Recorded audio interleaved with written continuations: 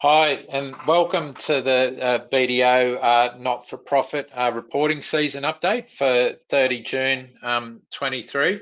Uh, sorry for the starting a little late. Um, hopefully you've all had time to get your coffee or cup of tea ready and uh, ready to get into an hour and a half of some quite interesting uh, learning and observations.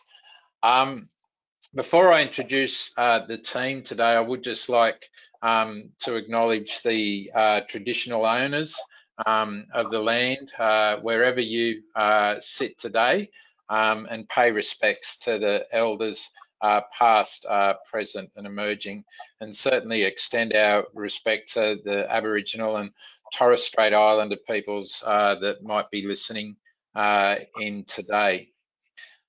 Um, so uh, the presenters um, for today's session, uh, obviously they uh, myself, um, leader of our uh, not-for-profit uh, group uh, across Australia, um, Aletta, who leads the IFRS um, corporate reporting, ESG and sustainability. So obviously a very talented person, a lot of responsibilities there in that. So Aletta will be taking us through um, uh, the financial reporting uh, update.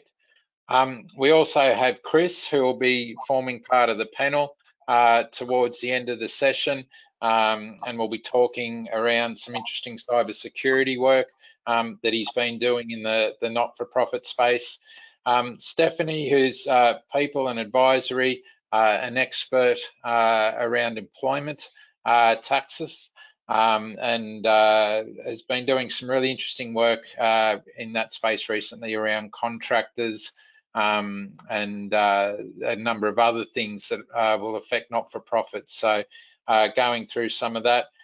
We have Leah, who's uh, one of our audit partners, um, and I'll just be talking about how you might be noticing your audit is a little different this year and, and explaining why um, and uh, Russell, uh, who's uh, um, one of our tax experts and, and uh, NFP experts, um, and maybe might bring to your attention some things that you're not aware of um, around the uh, Productivity Commission Philanthropy Review and a few other things that potentially might have a big impact uh, on this sector, depending uh, what comes out of those reviews. So um, as we've done with previous presentations, uh, the last half hour or so will be those panelists just talking um, about some interesting things uh, that they've been seeing and doing of recent times. Okay, so we do have quite a bit to, to get through, so we'll kick off uh, with your, yourself, Aletta, and the, uh, the financial reporting uh, update as such. Good morning, everybody, and, and morning, Anthony and fellow panel members. Um, I always love doing webinars with other people. Um, it's always nice to have more people on the call, more people to share insights and ideas. So I'm really looking forward to uh, the second half of the webinar where I can learn from the other BDO partners uh, from their areas of expertise. Um, and to all our not-for-profit clients and contacts, thank you for joining us. Um, for not-for-profits, um, you know, it's never a dull moment. There's always something on the go, always more things to do than we've got uh, time and money for.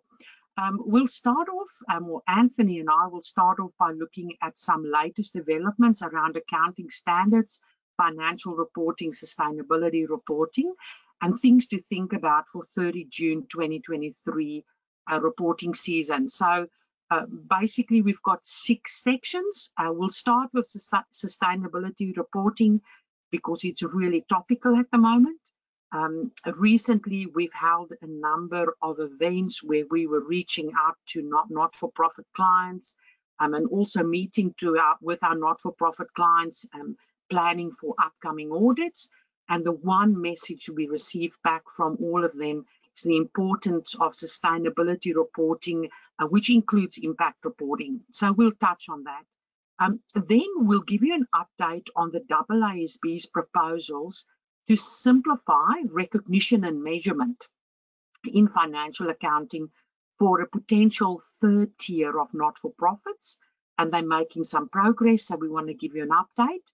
There's also a post-implementation review um, ITC 50 on income of not-for-profit entities, our AASB 1058. Um, there's also some feedback on a post-implementation review around control, structured entities, related party disclosures, um, and you know the basis of preparation for special purpose financial statements, so developments. Um, we want to give you an update around accounting for non-refundable upfront fees, which we often see within the schools. Um, and then finally, an update on peppercorn leases for private sector not-for-profits. Um, so quite a lot happening at the standard setting level at the moment. Um, let's start with sustainability reporting. And Anthony, as always, please feel free to add your wisdom and experience um, whenever uh, um, you feel appropriate. I know I'm a bit of a steam train, but I'll try and slow down here and there. Uh, but anyway, you, you're very welcome. Um, sustainability reporting. Now, in the past, we, we've put on the agenda, listen, sustainability ESG is more than just climate change. It's more than just carbon footprint measurement. It's more than reducing your emissions.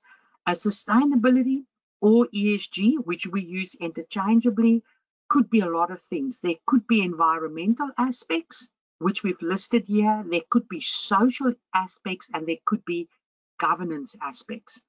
So I think it's important to come back to this and understand that um, although climate change and um, is really on the agenda, and government is coming up with legislation and the International Sustainability Standards Board is coming up with mandatory reporting, um, it's only one part of sustainability. And actually within not-for-profits, we often find that the social aspect is the one that gets a lot of attention. And that is how we deal with employees, uh, customers satisfaction, human rights, diversity, and our data protection and privacy, cybersecurity, health and safety of our people and our clients, um, broader community engagement. So the social is often um, a ticket to play for not-for-profits. Um, governance, in a way, I would say, is, is becoming a, a, a real um, non-negotiable that all organizations, profit or not-for-profit, have this in place. Um, so maybe the slide is just a reminder that sustainability is broad. Um, it's not just climate change and that it's important for each organization to assess which of these factors are critical for them. And, and how do you know that? Um, the way to know that is to reach out to your stakeholders and ask your stakeholders what's important to them. And for a not-for-profit, an example, if your key stakeholder, or sorry, if you receive most of your funding from government through government grants, uh, government would be a key stakeholder. And if government would like you to report on diversity numbers, on customer satisfaction, on employee engagement, um, on data protection and privacy, then those are the things you should focus on from a sustainability perspective, because that could assist you uh, to obtain your government funding and keep your government funding. So it's important to say this is a broad range of things. These 24 items is not everything, but it's a, it, I think it's a good summary of all the topics, but it's to think which of these you should focus on in order to keep your funding to keep the private sector maybe giving you money, um, to give, keep, donate, uh, um, donors giving you money. So who would be interested in your information? What would they be interested in? Um, so that's first of all.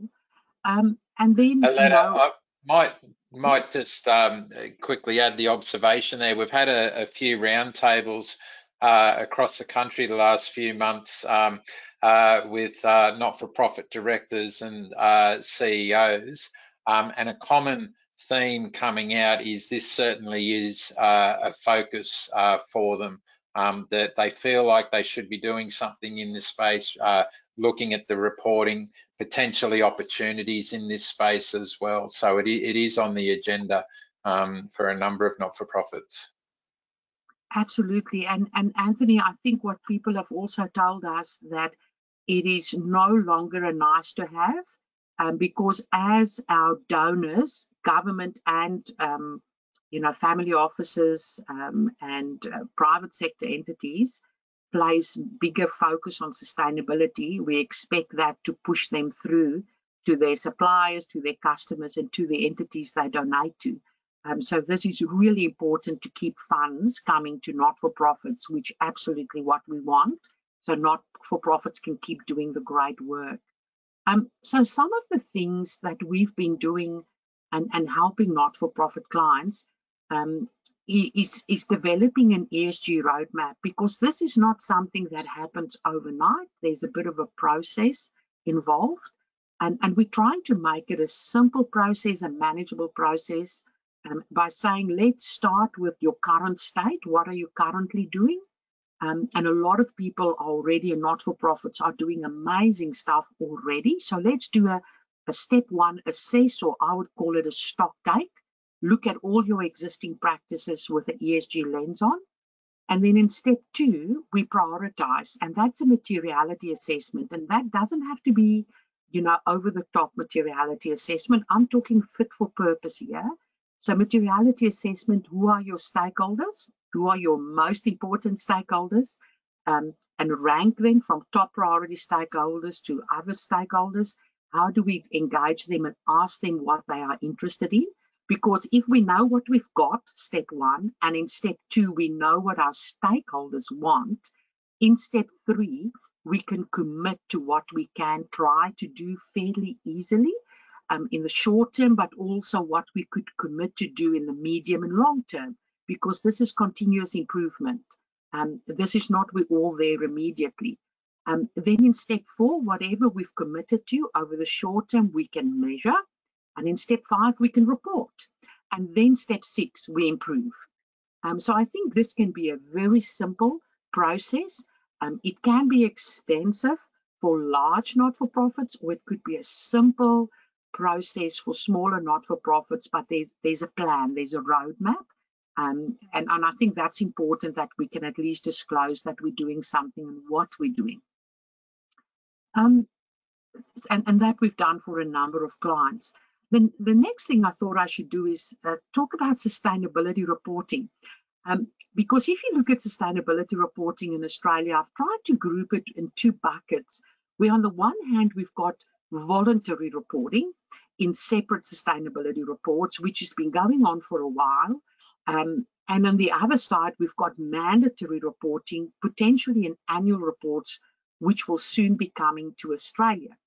Now, the, the voluntary reporting, you can look at various frameworks. The most common ones used are the United Nations Sustainable Development Goals or World Economic Forum or the SASB standards or the GRI. um, you know, and and they've got extensive metrics. You again pick the topics you want to report on and you comply with the disclosures for those topics. You don't have to report on every single topic in GRI, only the relevant ones, those important for your stakeholder.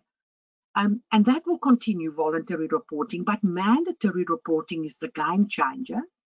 Um, and that is where the International Sustainability Standards Board is expected to issue their first two standards, IFRS S1 and S2.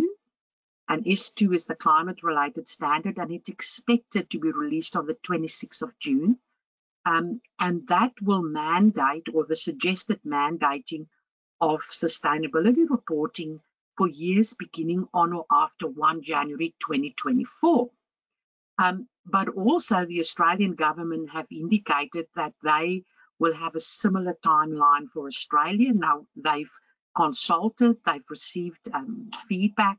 We don't know the final timeline, um, but we would say the latest would be 30 June 2025. So when mandatory reporting is coming at a listed entity level, or at the bigger end of town, or even in the private sector, the next thing that happens is everybody who transact with them, who receive money from them, um, who benefit from um, the money or the donations they make will have to come in line. because a lot of this reporting is focused on emissions, scope one, two, and three emissions, and everybody in the supply chain will fall in the scope three of potentially the larger end of town. So mandatory reporting is going to be a game changer, not only for listed entities, but only for also for not-for-profits um, in order to secure funding. And I think the, the link between voluntary reporting and mandatory reporting on the previous slide is illustrated well in this diagram published by the International Accounting Standards Board and the sibling organization ISSB, the International Sustainability Standards Board, in that where we've always had traditional financial statements in accordance with IFRS, subject to audit, the dark blue block, that will now be complemented by sustainability related disclosures, carbon footprint disclosures, scope one and scope two and scope three emissions, IFRS S1 and S2 will go in there. Uh, and together those will form general purpose financial reports that focus on investors. And then the grey box we see will be the existing voluntary reporting, the GRI's World Economic Forum. Um, and over time, that sustainability related disclosures, the light blue block or the aqua block, will, will take over the grey block because as they issue IFRS S3, S4, S5, there will be no voluntary disclosures left, right? It will over time become part of the general purpose financial report, but it's continuous improvement. But I think this diagram nicely illustrates how it all fits together um, and ultimately, the idea is to get all the information about an organization in the annual report in one place. So integrated reporting really. Um, so that's the plan.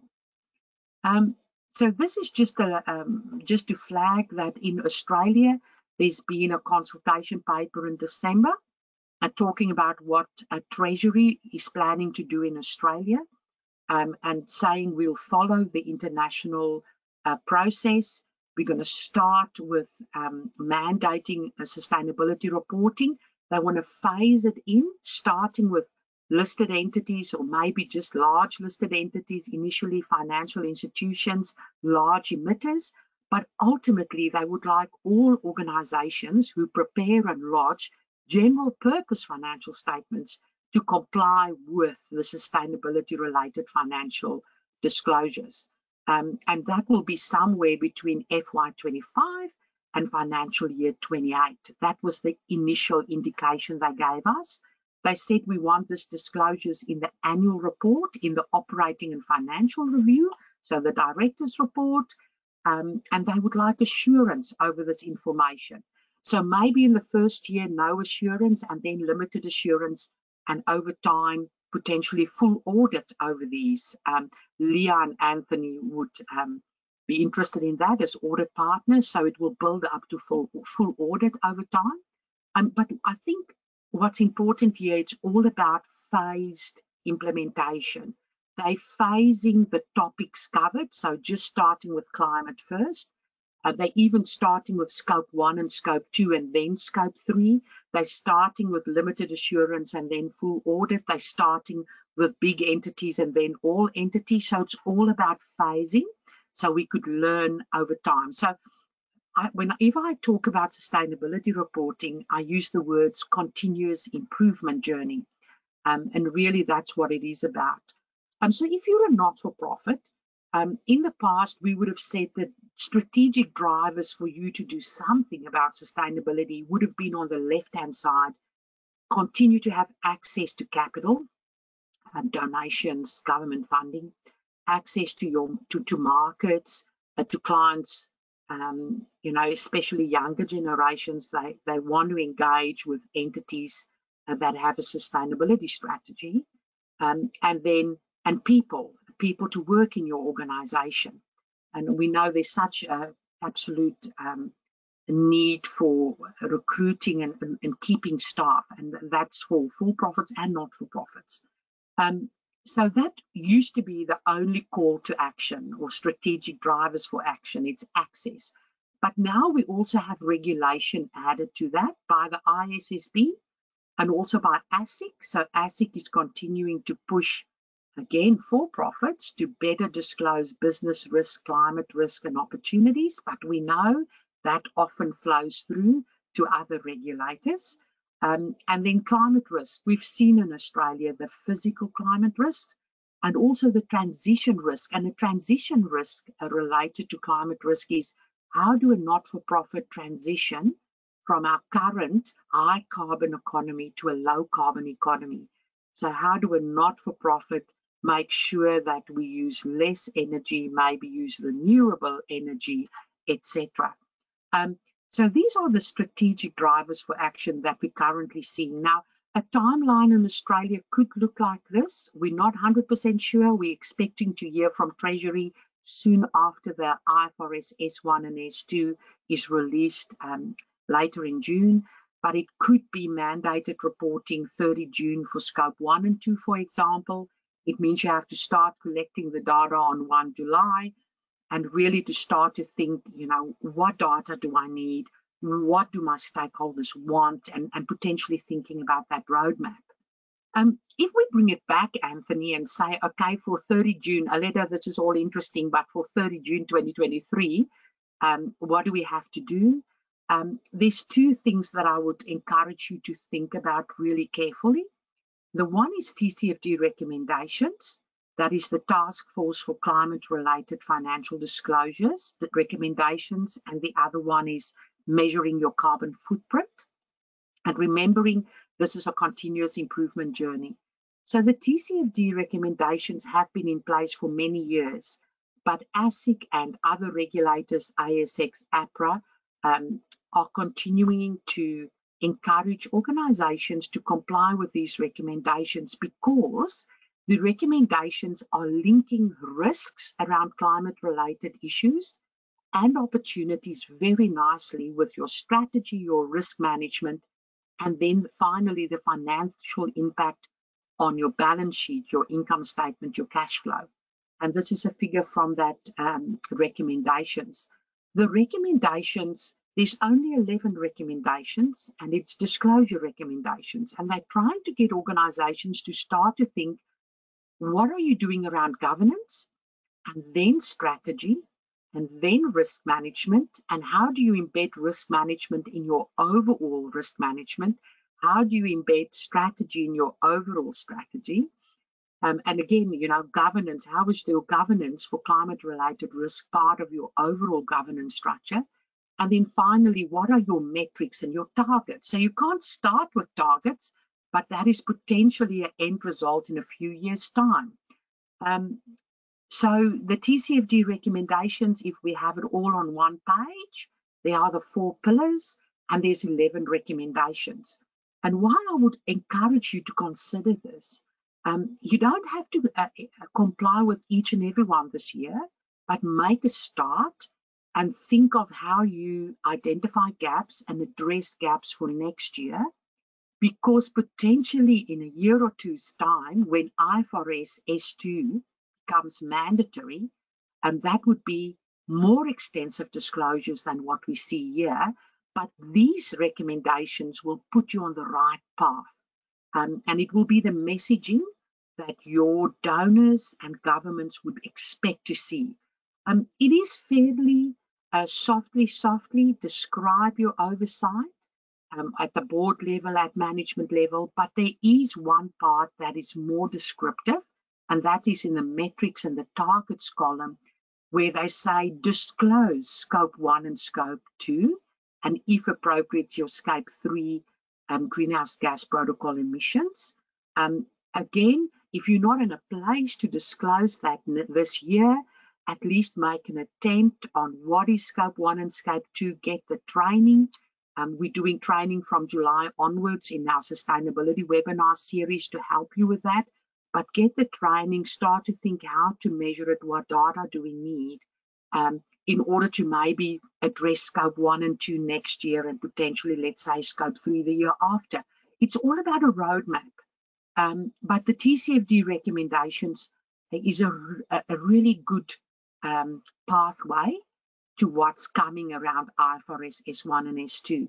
If you want to look at scope one and two, um, we measure it using the greenhouse gas protocol. So it doesn't matter what reporting framework you use, the measurement is always the same, greenhouse gas protocol. Um, we've got a publication out on it. If you want to have a quick look, it's a very short publication, I think four or five pages. Um, and then we've got extensive webinars covering for the next six months, every month, we're just looking at the greenhouse gas protocol.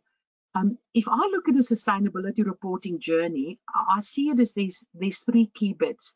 There's measuring your carbon footprint on the left-hand side, and that will invariably flow into how do we reduce our carbon footprint, a decarbonisation strategy.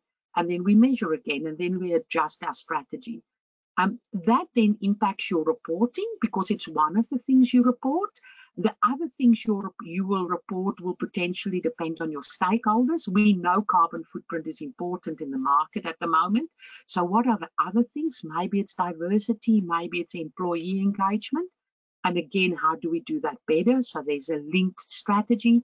And finally, for Leah and Anthony's, um, a lot of work, assurance over the measurement of that carbon footprint and sustainability reporting. So that's how the journey unfolds, or we see it unfolding. Um, I thought I'll, I'll give you a bit of an example, and it's our own sustainability report. Um, we launched our own sustainability report at the end of October last year. And this is just a snapshot from the report. And we looked at the World Economic Forum. It's a voluntary separate report. And we've included um, you know, according to World Economic Forum, you look at your people, the planet, prosperity, and principles of governance, um, which is aligned to the ESG. Um, you can look at that report in greater detail, but it just gives you an idea how BDO, as a professional services firm, engaged with our stakeholders. We list our stakeholders, we engage with them, and we even put in our report what our stakeholders said they want us to report on. And then you can see how we've responded to that. Um, so that's just to give you an e example of what this could look at. And the roadmap I've discussed earlier is exactly what we used for our own sustainability report. Um, I was fortunate enough to work with an amazing team to put that report together using what we also use for our clients. So that's just a little bit of an example. Anthony, I'll just pause there for a moment before I go on to the more accounting focused topics, which is a bit of an update on latest developments. Yep, that's excellent. Thanks for that Aletta. That's all um, quite interesting. And as, as I said, it uh, feeds through a lot to um, uh, what we've been hearing um, from a number uh, of, of not-for-profits um, so I'd imagine a number of people um, found that quite interesting, and obviously where where to start, um, and and that uh, your point, and and it's interesting. We lose sight of it a bit when we prepare a financial report because we see it as a statutory obligation. But even with our financial report preparation, it's important to be clear on who are our stakeholders and what's important to them hence um, getting the messaging right in the financial report, but it's the same process with this sustainability reporting. Yeah, Anthony, you've actually made a fantastic point that I forgot to mention, and that is in the past, when this was all about voluntary sustainability reporting, the people who engaged with BDO and we had an opportunity to speak to were usually sustainability or often legal professionals, professionals looking at it from a risk perspective. But now that there's mandatory reporting coming and it's going to end up in an annual report, the people who are speaking to us and reaching out to us are CFOs, finance mm. team, chair of the audit and risk committee, um, because they're very aware that this information, the TCFD recommendation, carbon footprint, um, reporting to stakeholders, um, is now in an annual report. It's a communication exercise uh, and it's therefore now their responsibility and in their wheelhouse. But there's been a big shift in the in the market or or what we've seen in the market, Anthony.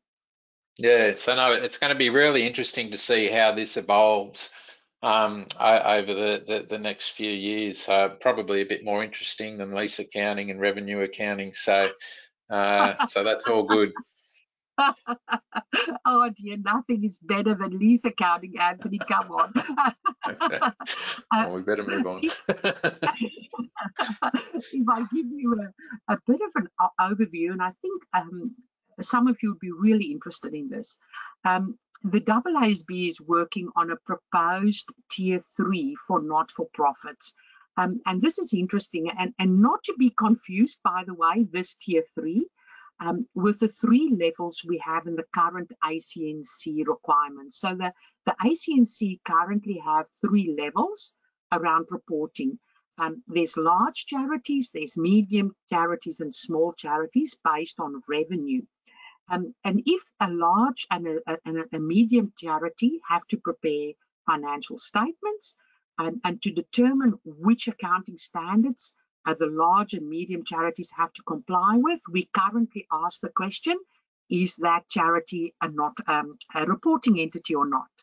Um, and if it is a reporting entity, it has to prepare general purpose financial statements um, at a minimum tier two. It could do tier one if it wants to. If it's not a reporting entity, it could still do special purpose financial statements. And obviously, a small charity uh, don't have to prepare and lodge a special purpose or general purpose or any financials at all. Um, so if you look at that large and medium charity that currently consider whether they're a reporting entity or not, what they're trying to bring in is that all large and medium charity, um, large and medium-sized charities will prepare general purpose financial statements, but to make it easier, there will be a third tier of general purpose financial statements. So where tier one is all recognition, measurement and disclosure, and tier two is simplified disclosures, AASB 1060, tier three is something very new in the Australian market, simplified accounting. So simplified recognition, debits and credits, and simplified measurement right? So that could be a, a quite a game changer. So if you fall into that um, general purpose financial statement tier three, um, and you qualify simplified accounting, um, there could be uh, a number of benefits. Um, so again, the AASB are not trying to dictate who is um, general purpose tier one, tier two, tier three. They still hold the view that it's for regulators to decide do they want to require tier one, tier two, or tier three financial statements or not. Similar to their position for for-profit entities, it's for regulators uh, to decide. Um, so please note that this general purpose tier one, tier two, tier three, it's all general purpose. It's not the same as large, medium, and small charity. That's the real purpose of this diagram. Then I thought I'll give you a quick run over of what they're thinking about.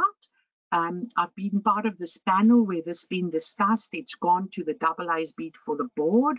Um, they've made some recommendations and it's now out for review. We don't know where it's going to end. Um, so, you know, there's a, a, statement of profit and loss, statement of financial position, statement of cash flow prepared using the direct method, there's no need for a separate investing and ca uh, financing cash flow section.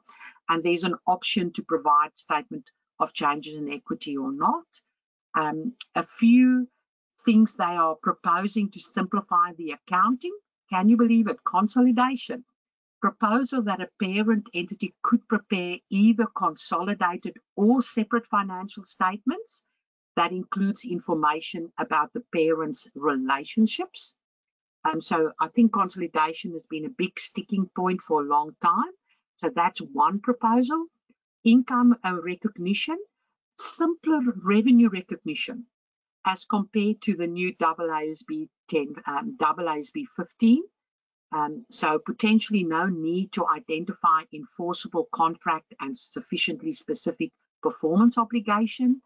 Um, they are suggesting that potentially you defer income if there's a common understanding between the parties on the use of the funds and the common understanding is evidenced. Um, so, you know, Anthony, we've just settled on the new AASB 15 and 1058, but here's another potential uh, adjustment to that.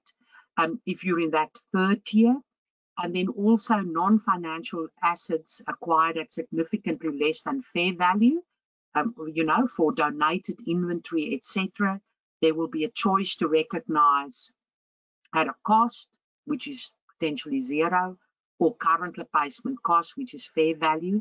And remember, peppercorn leases continue to be at cost um, after many years of talking about that.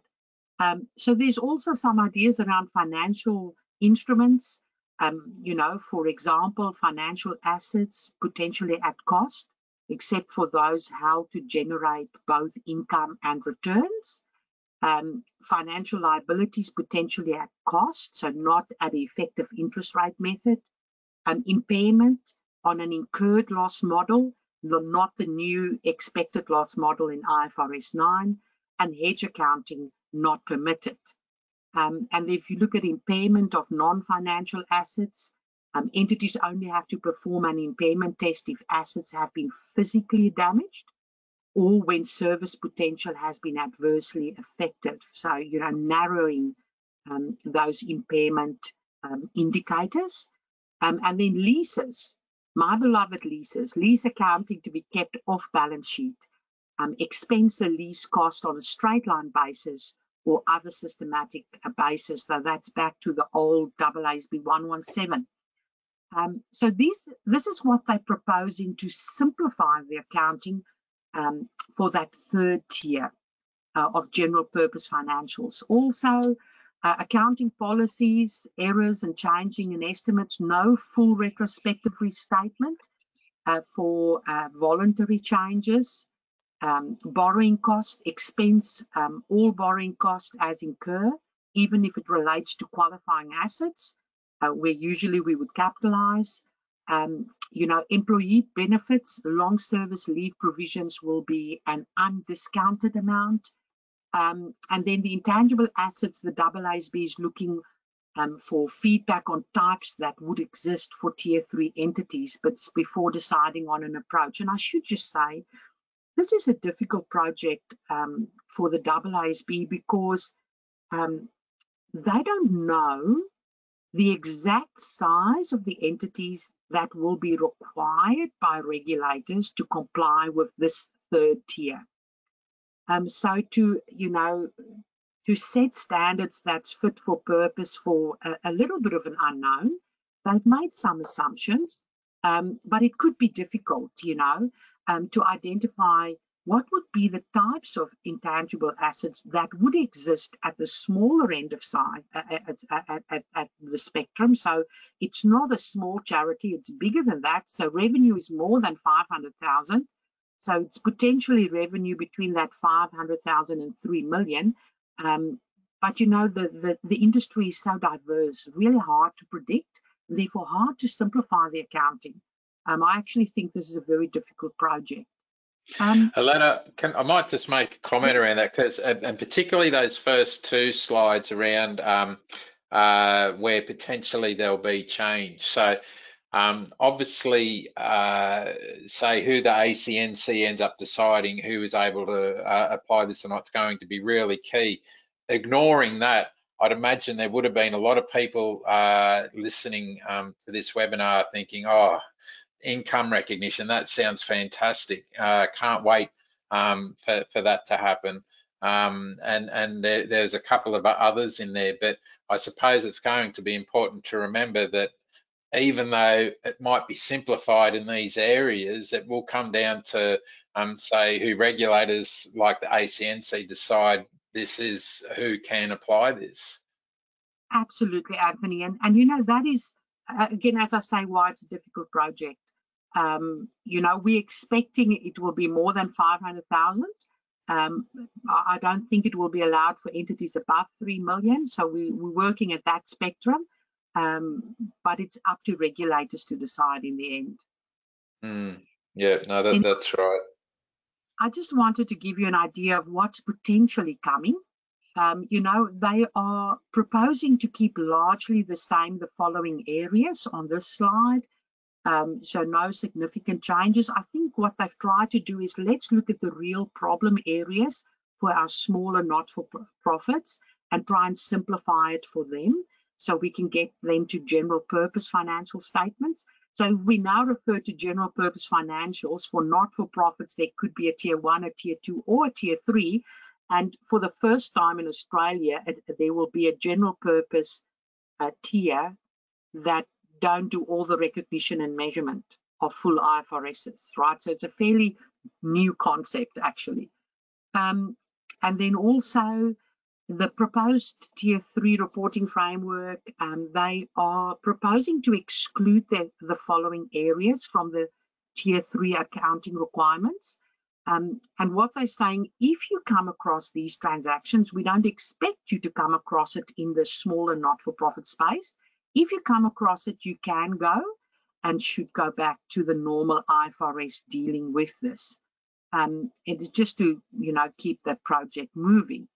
Um, then, Aletta, uh, can, sorry, can I just say, um, given that you're involved uh, with the discussions with uh, uh the people that are making decisions around these areas, if you could influence in any way uh, simplification of accounting for investments, because um, often that is an area where not-for-profits that do have investments and they're a mixture of different types, so direct equity, managed funds, um, interest-bearing uh, uh, securities, um, simplification uh, would certainly make life a lot easier um, for that for those NFPs. Yeah, and, and that IFRS 9 changes are definitely on the card to simplify that potentially towards cost, Anthony. So, mm. yes. Um, yeah. Now, on that panel, we can raise some ideas, but you know, ultimately the the AASB make these decisions. Um, but I have to say the AASB has done a great job by including so many um, firms that help um, not-for-profits and not-for-profits themselves they've really reached out extensively on on the project. Um, they've done, I think, they've done a, a, good job. Continue to do a good job on this project. Um, then there are some uh, examples here on how they could potentially simplify accounting. Some um, examples. Happy for you to have a look at that and the interaction with AASB 1060. Um, so the story so far. Um, the comments on the discussion paper were due on the 31st of March. The AA has AASB has received a lot of submissions and online online survey responses, 263, um, 73 stakeholder engagements. That's amazing. Um, and they've decided in May, just last month, to proceed with the development of an ED um, on this tier three for simplified accounting and removing the ability of certain not-for-profits to prepare special purpose financials. So remember, they're going to remove special purpose financials for the smaller not-for-profits. Um, but in order to do that, they are not transitioning them to tier one or tier two general purpose, but to a tier three general purpose. So they want to get this tier three established before they remove special purpose financial statements. But it's important to know that this is on the on the horizon if this impacts um, your business or potentially impacts your business. Um, and then this is just a summary of some of the feedback from the stakeholders. I'm not going to labor this because there's so much to cover. Um, so that's just an uh, overview of the regulatory framework, which I think is important. Um, if we look at uh, the post-implementation review, we know, um, you know, we had a decision tree on whether to use AASB 15 or AASB 1058. There are a number of hurdles and the very first hurdle to decide which standard to use on income recognition would be, are the funds received for the purpose of acquiring or constructing a non-financial asset? And if it is, um, then you'll apply AASB 1058 paragraphs 15 to 17. Um, and, and that's always the first threshold question you ask. Um, now what's happened, we've identified some scenarios um, where there's been some questions raised around acquiring or constructing this non-financial asset. Um, you know, um, there, there are some judgments um, around do we have identified specifications um, and, you know, when is it funds that we can use uh, to construct an asset? When is it for a specific uh, asset? So just be aware of that. Uh, there's some discussion around that. And then in order to the next part, if you can pass that, a sufficiently specific has always been unclear and quite a, a lot of confusion still in practice. and we still need judgment to, to work out um, whether we have an enforceable contract and whether we've got sufficiently specific performance obligations because only then we are within the scope of AASB 15. And again, that does not necessarily mean we recognize revenue over time, but it gives us a chance. It gives us a fighting chance so we can still do the assessment. So it's maybe just to raise a concern that sufficiently specific is still an issue, um, but there's a more recent issue around acquiring or constructing a non-financial asset that we should look at that requirement quite carefully. It shouldn't be a general funding, um, but a specific funding. Um, so, so what are some of the issues? Uh, let's say a hospital receives a cash grant to acquire 16 intensive care hospital beds um, is that an identified specification that we could use AASB 1058 paragraphs 15 to 17? Yes. Um, very specific what we have to do with the money. A not-for-profit with a single objective receives funding construct a building to perform its operations.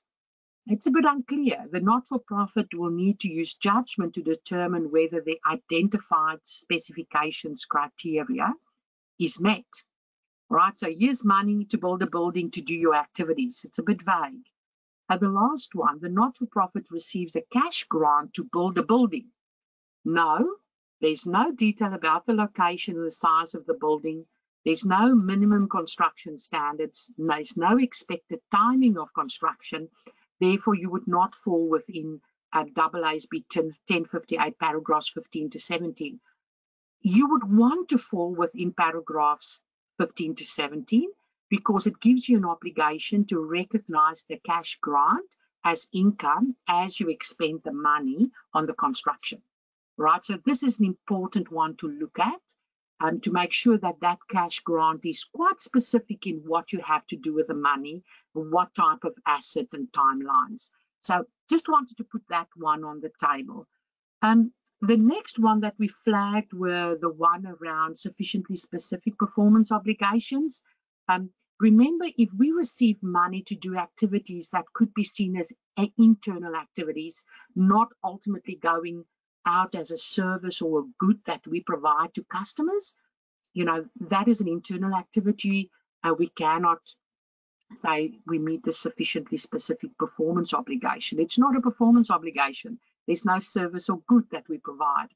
Um, if it is an output, so there's an external output, there's a good or a service that we transfer to a customer, plus it's very specific, the hours, the timing, etc. Um, outputs sufficiently specific usually.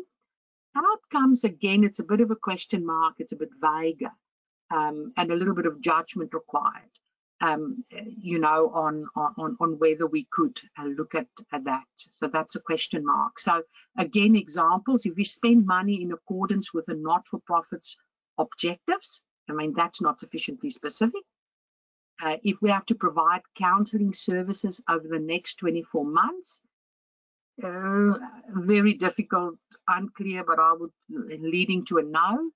Uh, the type of service is specified. Um, the time frame is specified, but there's no real information about the recipient, the quantity, and importantly, how do we measure whether we've complied with this or not?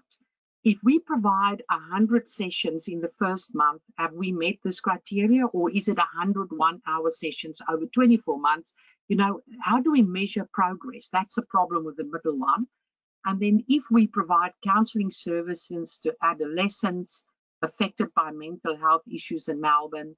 Um, the entity has little discretion over the type, the quantity, reception, recipient, and location of the services. Um, you know, so that's a bit tighter, but sufficiently specific performance obligations continue to be problematic, and it's better to get it as tight as possible. Uh, some other issues, um, you know, some not-for-profits keeping two sets of books for income recognition um, you know, how do we keep the information and track the information better? Um, so it's in our non-stat, you know, that's somewhat problematic. That's some issues that's been raised. Um, how do we account for arrangements in, in which the not-for-profit is acting as an agent?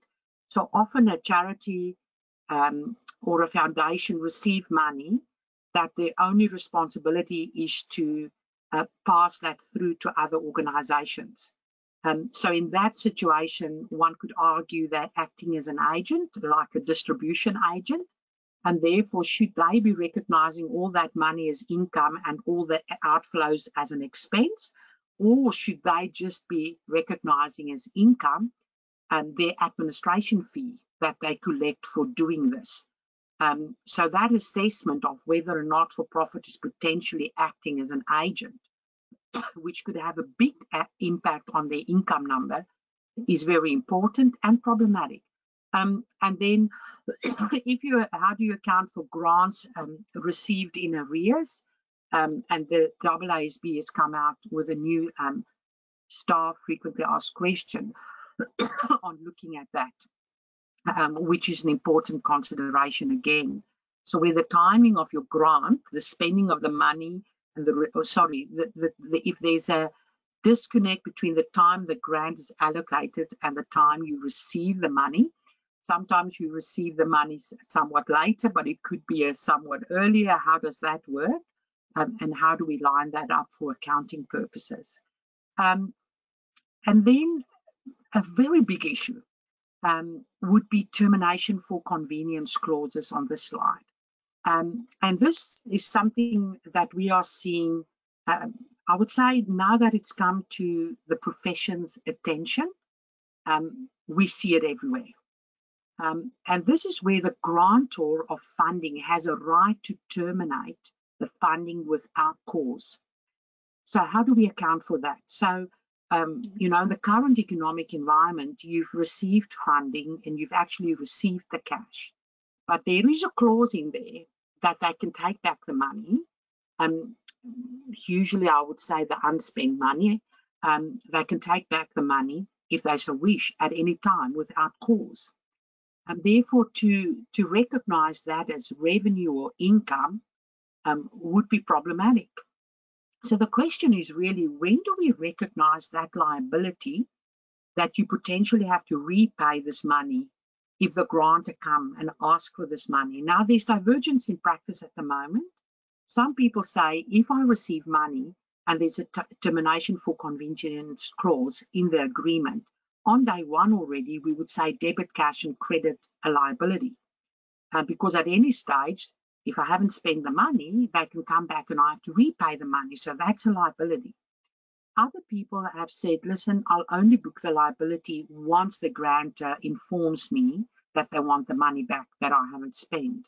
And so although there's divergence in practice and it's it's back on the agenda at the AASB, um, it's been discussed at length, um, still divergence, and the AASB is now addressing this as part of this um, um, post-implementation review.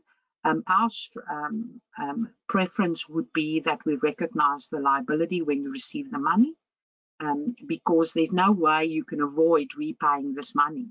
So on day one, debit, cash, credit, liability. Um, and you only would remove that liability as you actually spend the money.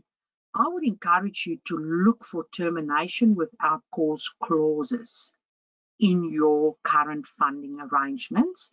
They are far more widespread than we initially realized. Um, and then accounting for research grants, um, there's additional uh, FAQs and illustrative examples to deal with that if that's your space, and then some public sector specific matters as well. Um, this one I'll look at really, really fast because I would like Steph and the others to contribute. Um, this um, ITC is looking at some issues around control, structured entities, related parties, special purpose financials. Um, you know, um, around control, how do you assess control where there's no ownership interest, etc. What are the implications of consolidations if we don't have ownership interest? Um, so again, it's on their radar to look at. Um, some other issues would be implications of structured entities. Voting rights is not a dominant factor. Um, how do you identify and gather information about related parties in the public sector? And there's some challenges on preparing special purpose financial statements and disclosing your compliance with recognition and measurement of Australian accounting standards. So again, there's a bit of an update the story so far, quite a number of written responses, um, and they have not deliberated um, the feedback that they've received yet. Non-refundable upfront fees, again, uh, we've written an article on non-refundable upfront fees because the AASB has added an illustrative example, 7A to AASB 15 for not-for-profits. This is a very important illustrative example to have a look at. Um, and it really says if you've got upfront fees, so joining fees, enrollment fees, establishment or setup fees, so this could be a gym, a golf club, a school, etc um, you should ask whether that upfront fee relates to a distinct good or service. Um, and if it is, you could recognize immediately if you've if they've actually provided the you know if you've provided that good or the service that's so distinct you can recognize it um, if it doesn't relate to a distinct good or service you'll have to defer recognition that's the principle but the example is very good. Please look at the new example. Peppercorn leases is just a reminder that we now have an ongoing permanent ability to recognize um, peppercorn leases at cost. We don't have to fair value them on day one, which is amazing. Um, Anthony, that was a real um, high level overview. I thought 45 minutes, but there I went again, 59 minutes. Um, I'll hand over to Leah, I think, at this stage. Yeah, that, that's excellent. Thanks, uh, thanks for that, Aletta. And yeah, I know we thought, oh well, there, there's not a lot this year, but um, as always, there there is more than what we uh, realised, and that was fantastic uh, to go through that. Um, so Leah has joined us now. Leah, I, I don't think your camera is is working, is it? No, it isn't, unfortunately, and I'm not in the office to. I haven't been able to get it fixed, but um, I just wanted to share what we're seeing within the actual audit space. Um, and you'll probably be seeing us or having a few more questions from the audit team because there is a new audit standard that is applying. It's called ASA 315, but it requires us to reassess and document risks in a more detailed way for us to understand and document um, the processes for getting the general ledger completed and the financial statements completed. So you'll have more detailed questions from us so that we can clearly articulate your specific risks and therefore the specific audit or the plan procedures that we need to do. And the key thing, I guess, that we need you to remember is that we cannot assume, even though we've been doing audits with you maybe for a couple of years, um, we, we do have to address the specific risks. But we're also needing to spend more time on revenue. You know, Aletta has just gone through some of the, the items that have been coming up in regards to revenue recognition. But a number of you are also doing more as you address sustainability. So introducing new revenue streams, um, you're, you're, also um, often entering contracts that are now more complex and non-standard, which requires the assessment of which accounting standard we're going to apply. And therefore, we need to do the assessment with you or review your assessment of which accounting standards, you know, sufficiently specific, etc. And we're also typically spending more time on systems, processes, and IT platforms as a number of um, charities and not-for-profits are improving their efficiency and reporting by changing systems and we're required to reassess the risks and the IT general controls that are attached to that. So yeah, there's changes in accounting standards, but as you adjust um, within your own um, charities, there's then new audit risks that, that come up and therefore we need to address those. So that's what I'm seeing from an, an audit yeah, yeah, no, and and that's um, great, Leah, and, and and it's certainly good because uh, it's not even though uh, we've been putting it in our completion reports um, to to clients uh, last year about the changes coming up in audit standards and that they will see a bit of a change uh, uh, around the audits uh, and and probably more time spent at that planning piece. Um, certainly that's what we're going through at the moment, and it might explain um, why there's potentially some more in-depth questioning uh, around certain areas uh, by the auditors and might, might explain, explain why the auditors are a bit bleary-eyed because uh, they are spending more time in this space uh, at the moment. So it was good to, to give that background. Um, Stefanie, uh, we might go to yourself now. So as I mentioned before, Stefanie um, is a partner in the people and advisory area, but specialising in particular um, around employment um, uh, taxes and expatriate uh, issues. So uh, Stefanie, I know you've got a few interesting things there uh, to look at. Thank you, Anthony. And yes, always lots happening in this space. I thought I'd begin today by just sharing a bit of an update on the Victorian state budget that was handed down a couple of weeks ago. Um, now, I've got some things on the slide. Um, some of the, these I, I, presume won't be relevant to those of you who don't pay payroll tax um, for those who qualify for certain charitable exemptions. Um, but there are some interesting things in here and, um, and also the, the work cover change that I'd like to share given that will impact everyone. So I think the theme coming out of the budget is it is looking at increasing taxes for those with an ability to pay. Unfortunately, Victorian government is in a lot of debt, so had to implement a number of measures to try to recoup some of that through additional revenue and additional tax liabilities um, the first change is around work cover premiums. This one takes effect from 1 July 2023 and what WorkSafe is seeking to do is increase the average premium rate from 1.272% to 1.8% for 2023-24 um, the, for about, about 20 years or so, premiums have been pretty stagnant. However, the claims cost has more than tripled since 2010. So this increase is seeking to bridge the gap between annual claims and the premiums collected. So unfortunately for all of you um, who have a, a work cover policy in Victoria, the expectation is there will be an additional premium from 1 July. For those of you who pay payroll tax, again, there were, wasn't a lot of good coming out of this uh, state budget. The only positive news is for small business with an increase in the tax-free threshold from 1 July 2024. So the threshold will increase to $900,000, um, which is bringing it closer into line to other jurisdictions. Second up point though, diminishing threshold means if you do pay payroll tax, as soon as your wages exceed a certain threshold, you will lose that threshold. So in Victoria, it'll be from $3 million, you'll start, start to see that entitlement diminishing.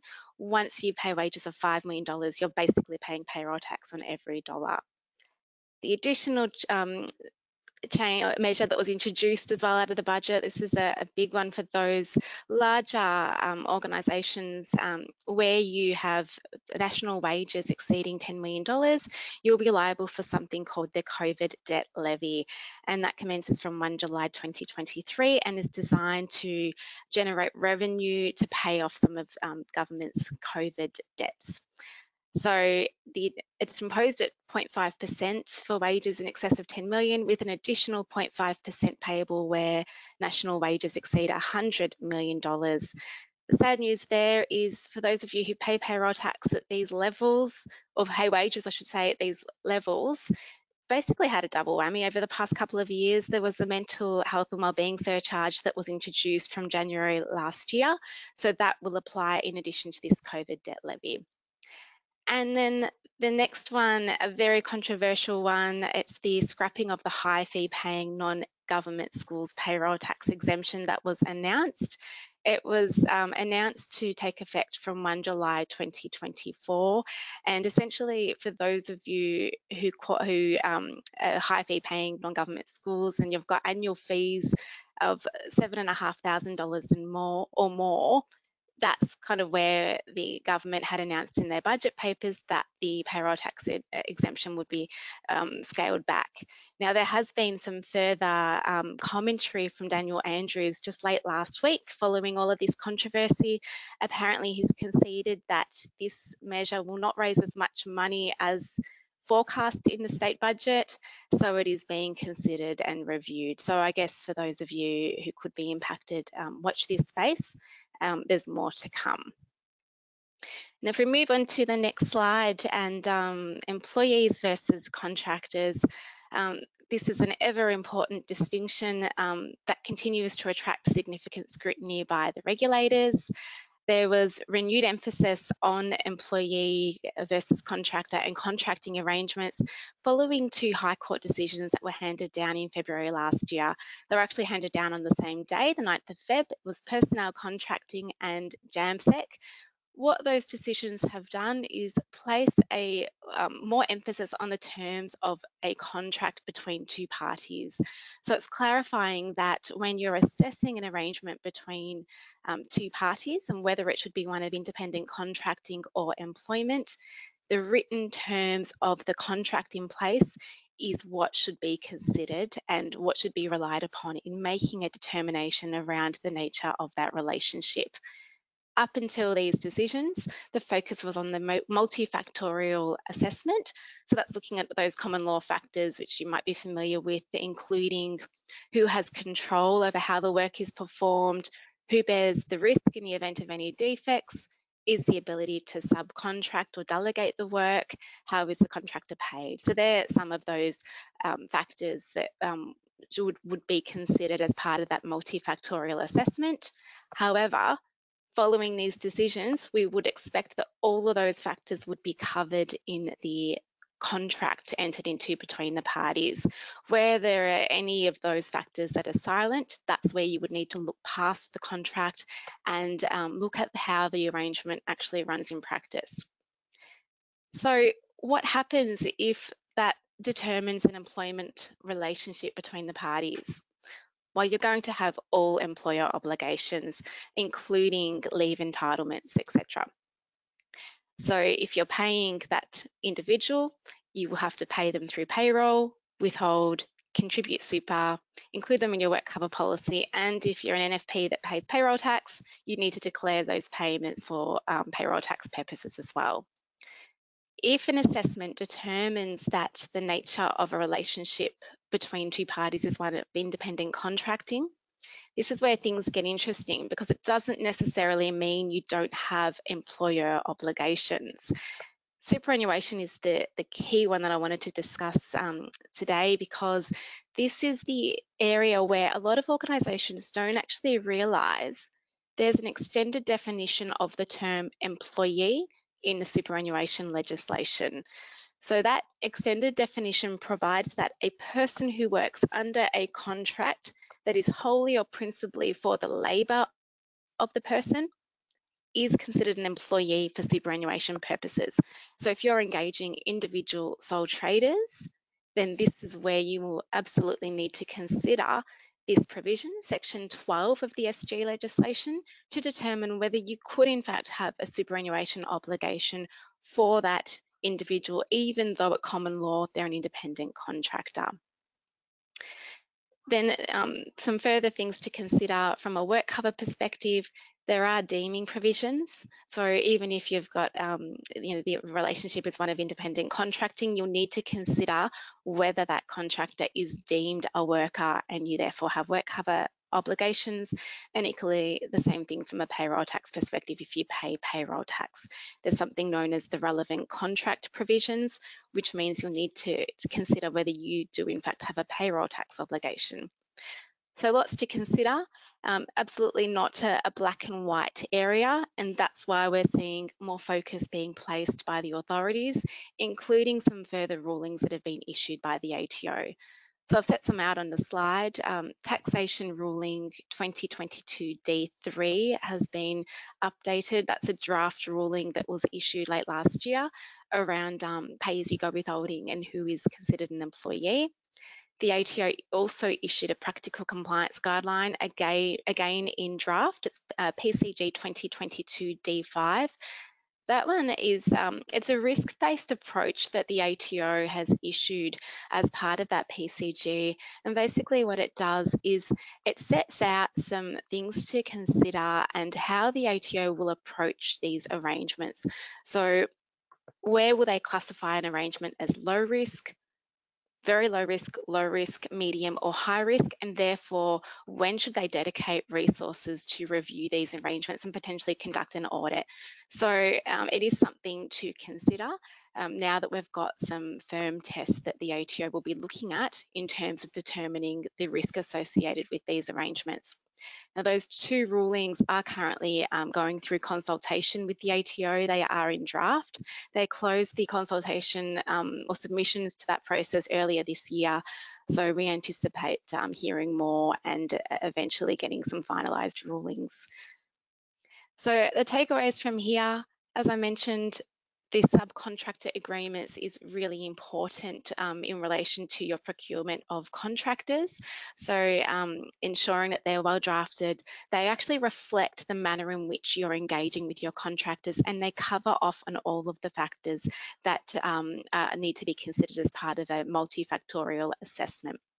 So again, good governance, processes and procedures around your engagement of contractors, including um, considering the broader employment tax obligations that could arise even where you're engaging with a, an individual, individual contractor. And um, my final slide for today is just a little bit around wage and superannuation compliance. Again, another area which we consider, continue to see a, a, lot of focus.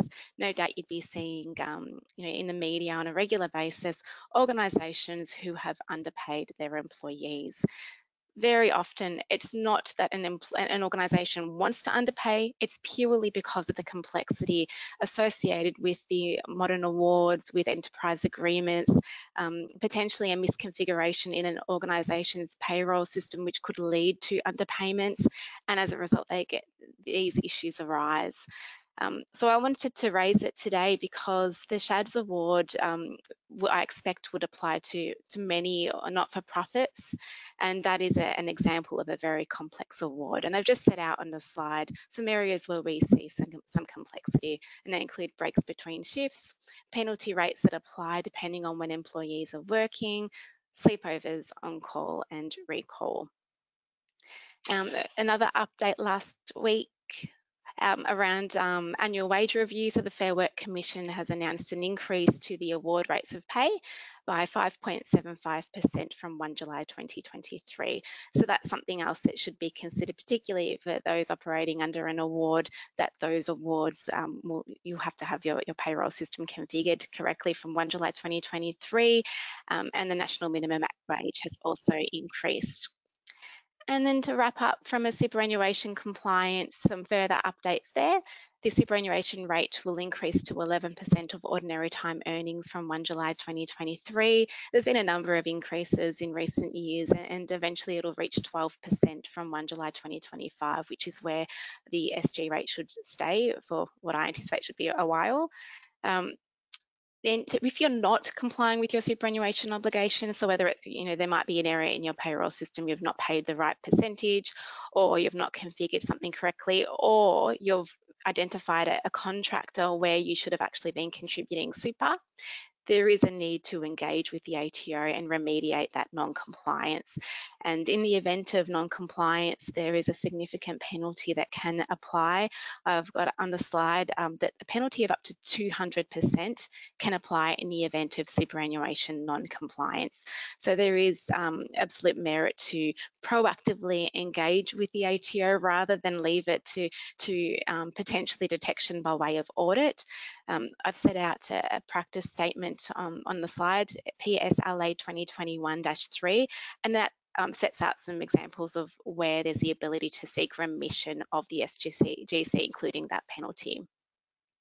And a final update is, um, as I mentioned, the ATO is currently reviewing their rulings around the, the important distinction of employee versus contractor.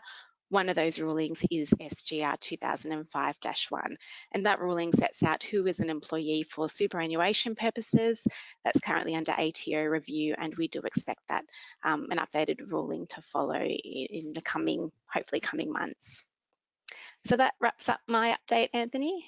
Thank you. Yeah, that was that was excellent, um, Stefanie. And obviously, there, there's a lot in that, a, a lot of uh, to keep an eye on, of, of, things to keep an eye on, and maybe go back and uh, and check it. It does continue, doesn't it, to be an area where things just seem to come out, um, issues and whatnot, because there's a lot of complexities uh, around payroll. So that, that was a great update. Absolutely, thank you.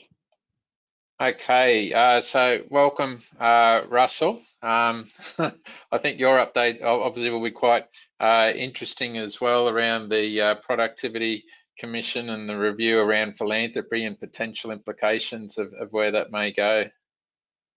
Thanks, Anthony. Yes, it is uh, here in uh, Queensland. It's actually Philanthropy Week, something that's fairly unique to Queensland. So it's something that's very much front of mind at the moment. But the the topic of uh, philanthropy is uh, something that uh, the Treasurer tasked the Productivity Commission to, to look at.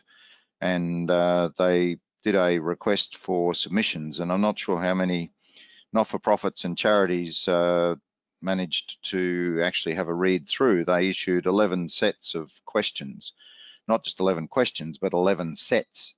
And uh, so there, there was an enormous number of questions and they had a lot of throwaway lines in there about uh, um, should there be or should should the deduction for donations continue or should we have a different system um, should charities and not-for-profits continue to have an income tax exemption um, there was the question also they just uh, throw away around uh, oh the, there's is the question of competitive neutrality satisfied by not-for-profits being income tax exempt. And uh, so whilst the submissions date has closed, I think the key thing that uh, all not-for-profits and charities should maintain a, a, watching brief on is that come the end of November this year, they'll issue a draft report and uh, and and then uh, uh, that that will be open for comment until the 9th of February 2024. So it's going to be during that Christmas New Year period that uh, organisations are going to need to devote some time and resources to do it. Historically, in dealing with Productivity Commission, the key point is that uh, they uh, that they, they do review what's submitted and uh, and the volume and voice of uh, organisations will steer and guide that that ultimate outcome. So it's important that everyone says because the simple rule is if you don't make a submission, you can't complain about the outcomes. So, so that, that's just an awareness. Uh, the, the submissions that have been made are, are, up on the website of the Productivity Commission, so you can have a look. There's a lot that you'll say, oh, that looks a bit similar, um, because a couple of organisations got their membership base organised and they did a lot of individual member ones. So there's a couple hundred submissions. Uh, but there's quite a large number that have a fairly consistent theme. So, uh, so that that's something to contemplate as well into the future. So that that's on the Productivity Commission there, Anthony.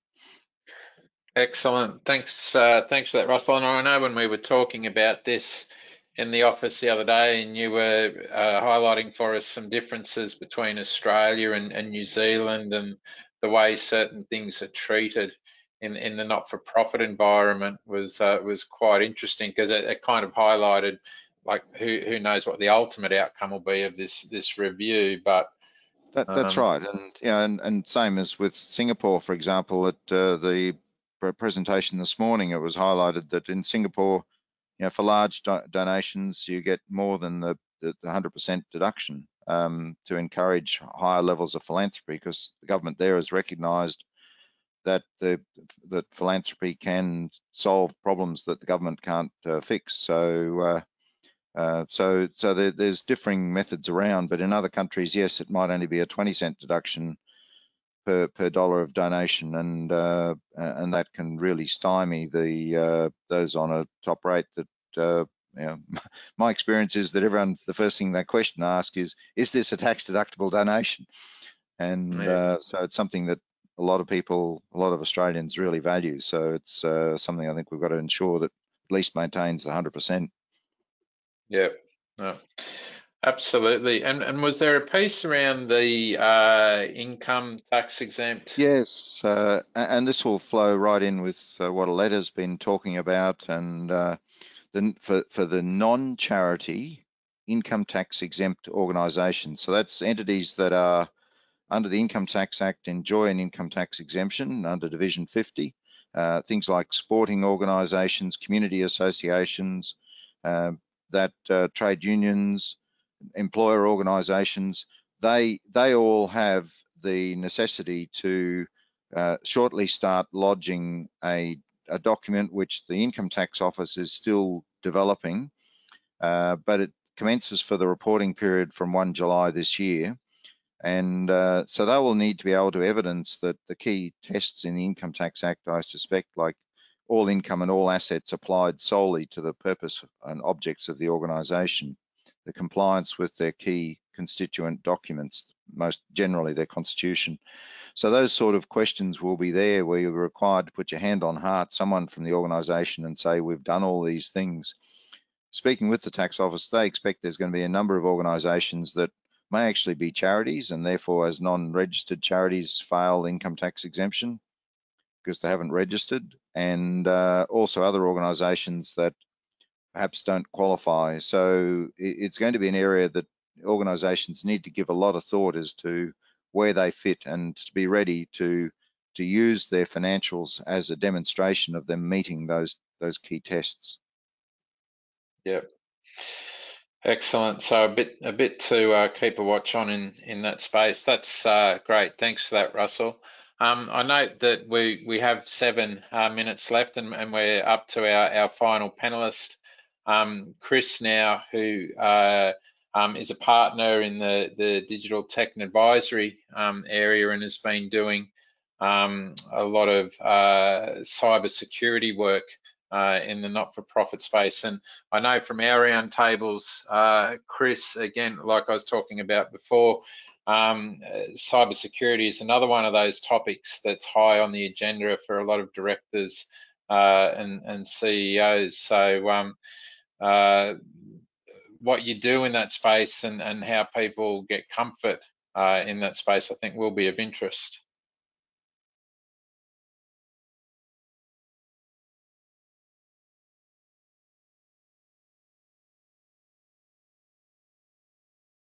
Might be having a few technical issues there with Chris.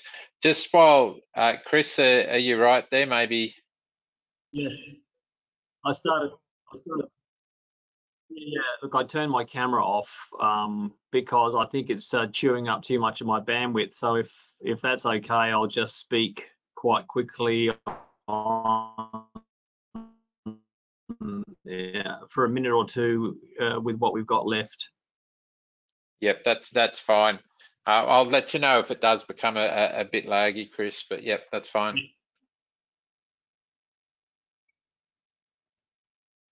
Look, thanks. Look, it's been um, very interesting for me to listen to all the speakers today. Um, and what I've tried to do is, is break up the conversation from a cyber perspective into what I think are external factors um, that are pervasive for most businesses, including not-for-profits. And I, have sort of highlighted four areas there where the pace of these changes is, is increasing. Um, in years gone by, when technology and other changes were being seen in other countries, we had a few years to get ready. It now seems like we've got a few months and and so we need to pick up the pace in how we're reacting to cyber threats because they're they're pervasive. It's not a matter of um, of if but when. And what I'm seeing in in general terms is there's a shift away from compliance using uh, a self-assessment approach, and it's becoming very pervasive. And the obligations are increasing. And I think every speaker has emphasised that point um, without doubt. And I and I also see, and I think everyone on the call sees that any any business that doesn't comply with um, the Privacy Act and there's a breach, it's a potential brand destroyer. And and in the philanthropic sector of, in which this topic is very important, it would be a shame to lose community support due to a, a, a, cyber threat like that. So these are the external factors that I think people on the call should be increasingly become aware of if they aren't already. Um, after working with uh, a number of not-for-profits, I've seen a very high variability in the cyber and IT maturity levels. The, the bell-shaped curve is not bell-shaped. It is skewed to the left with a long tail to the right, and the long tail to the re right represents a very small number of NFPs that I would say are business fit in this current environment. Usually I've seen IT run on the smell of an oily rag. Um, a lot of IT projects seem to have failed and businesses in this NFP space are, are shoring up the, the shortfalls in what they thought they were buying from a systems position, perspective with people. And people are volunteering their time they're doing the right thing, they're creating spreadsheets, but then they leave and there's a risk that the process leaves with them. And along with that, um, they're very resource constrained. A lot of the um, the cyber strategies and IT strategies and business continuity plans are usually out of date and and it's very manual in terms of business reporting. And what I've also seen is there's a there's a generally a low level of IT savvy on boards in this space. They don't have a strong digital cyber representative. There's a lot of really good people that have a very philanthropic um, ethos to be there, but I think it's time to consider specific roles and and one around IT and cyber I think is is probably overdue. So they're the, they're the sorts of external, internal factors I'm seeing. Now, from a how do you address these from a cyber risk perspective? Everybody has been talking about compliance in one form or another, which usually leads to reporting, and you're reporting on a whole wave of different obligations, disclosures, and you've got to meet with legislation changes at a state level as well. So the the problem that I'm seeing consistently is that everyone's talking about data in one form or shape and the quality of that data generally speaking that I've seen isn't where it needs to be which is sort of counterproductive given the risks that we face and the obligations that we face to report um, that, are, that are going to increase. So the focus that I see that would be well worth everyone thinking about is data quality. What is the governance, management, and the processes within each of your NFPs to manage data? There, there's no point in investing in um, faster compute, you know, easier access to, to, to, to storage of data, because all you're going to do is get crap data at the speed of light and and there's no need for that. Uh, it's not going to help anybody. So looking at data understanding where the data is across the organization and building a data lineage map will really help organizations with their reporting obligations and applying some digital smarts um, with analytics to make the reporting an easy an easier process is going to be a big step in, the reporting and the, in the disclosure space that we that we find ourselves increasingly um, being part of. So I think we're out of time, Anthony. Um, um, I'd probably like to leave it there because you've got questions uh, and etc. To, to, wrap up. Yeah, no, that that's fine, Chris. I I, I know um, you, you, have been doing uh, a lot of work, um, particularly with schools, and I'm not sure whether it's extended to um, cyber penetration testing and, and whatnot, but then working with other NFPs. Is it common that, that when you go in and uh, you, you're doing the, the cyber work in relation to NFPs, there, there not, typically are shortcomings that you're picking up that where organisations are vulnerable? Yeah, look, so some of the biggest risks are even though you you want to report on data, um, data breaches or cyber threats, a lot of organizations don't know that they've even been breached. and and that's that's the core problem so getting a, a cyber strategy understanding what your defensive position is going to be understanding what the posture of the organization is going to be and making sure that the board understands the risks that they face is is really step number one and what we've had to do is we've productized some of the larger organizations cyber services and package them for the NFP and school sector so that they can consume them and get the get the answers to these key questions as quickly as possible. You know, normally these things would take quite a lot of time and you can't afford to employ a cyber person in an NFP, but you could get a service um, that in a week or two gives you a current state assessment, exposes all the vulnerabilities, and gives you a roadmap. And then the board can at least decide what they're going to invest in and what risk appetite that they're willing to let things go because you can't you can't close the risk down to zero. It's just too mm. expensive. Yeah, and I think that is a key point. You can't close the risk down to zero. So no, look, that that's excellent, Chris, and uh, uh, thank you for that update. I know you are in transit, so really appreciate you um, taking the time to, to do that. One point that you did make there was that IT member on the board. Um, my observation is uh, boards are certainly in tune uh, with skills based. Um, and I, I, know particularly for the larger NFPs, uh, ones that I've observed to have had um, and someone with IT skills sitting on the board has been very valuable because my observation is a lot of not-for-profits are spending a lot of money on IT upgrades and, and uh, different kinds of things. And it's a continuous um, area and, and that skill set um, is certainly very useful on the board. Look, we, we are uh, out of time. Um, certainly, if, if you do have uh, any questions, please uh, reach out to your contact uh, at BDO.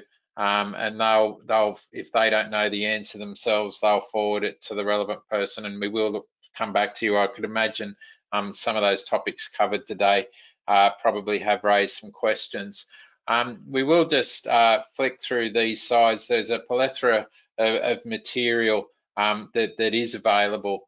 Um, so through our, our corporate reporting uh, insights that we put out, um, monthly uh, webinars uh, that we do and training um, that we offer, um, uh, and, and, certainly some not not for profit specific webinars.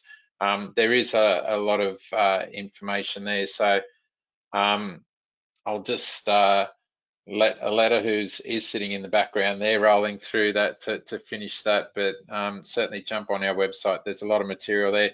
Um, thank you uh, for the time and, and um, uh, dialing in today. I hope you've certainly found it useful and uh, certainly uh, a lot of thanks um, to Aletta, Chris, Stefanie, uh, Leah and Russell um, uh, for making their time available today and um, share some interesting insights.